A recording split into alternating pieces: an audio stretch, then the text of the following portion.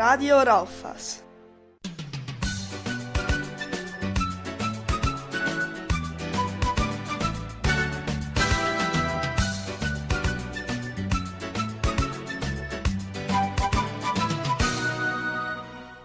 Steffi Smartphone App Tipp, Tipp, Tipp, Tipp. Diesen Monat küren wir auch wieder unsere App des Monats.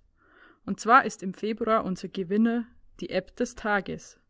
Ihren Namen hat sie, da sie jeden Tag eine andere App zum Gratis-Download anbietet, die normalerweise kostenpflichtig ist. So haben Sie jeden Tag einen Tag lang die Chance, kostenlos kostenpflichtige Apps herunterzuladen. Viel Spaß mit unserer App des Monats, die App des Tages. Stefanie Stiegler für Radio Rauchfass.